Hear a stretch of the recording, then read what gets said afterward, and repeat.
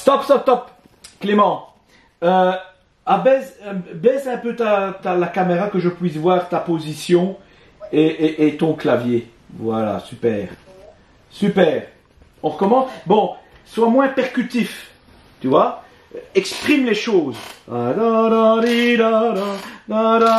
Ressens bien la manière dont tu vas l'interpréter, d'accord?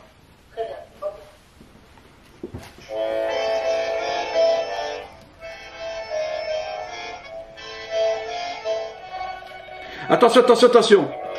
Clément, Clément, attention, quand tu commences ton allégro avec tes doubles croches, tu dois vraiment euh, plus directement au début. J'ai l'impression que on en, allez, pendant ton premier temps, on n'entend rien. Tu vois, avec beaucoup de souplesse. Dans Bonjour, je m'appelle Olivier Douillet, je suis professeur d'accordéon à Carré, Conservatoire Royal de Mons en Belgique. Je donne cours actuellement par Skype à un de mes étudiants de Toulouse, Clément, qui entre en Bachelor 3 cette année dès le mois de septembre.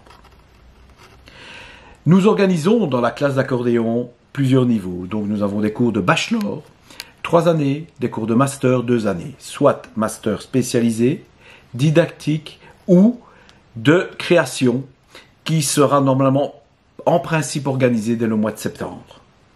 Dans ma classe, tous les étudiants suivent des cours individuels de lecture, d'ensemble d'accordéon et de méthodologie.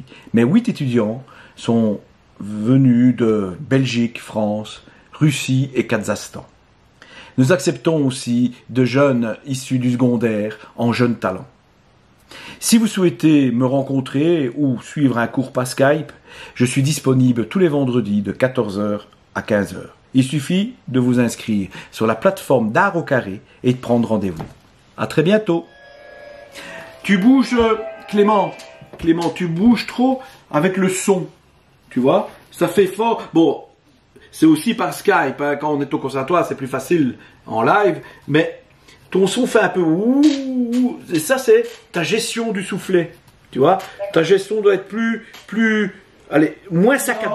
tu poses des choses, tu vois C'est, complètement une transition dans cette toccata, tu vois tu, tu arrives très physique, très technique, et là, c'est complètement changé. C'est une autre atmosphère, c'est, c'est beaucoup plus mélancolique, tu vois. Mais alors, tu amènes les choses, tu vois. Tu racontes vraiment cette, une histoire.